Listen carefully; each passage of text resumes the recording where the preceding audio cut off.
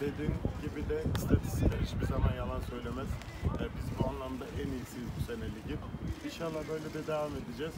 Galibiyet serisini en uzun, en uzun ne kadar sürdürebilirsek ona çalışmaya devam edeceğiz.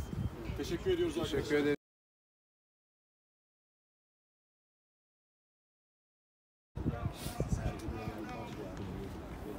Yes.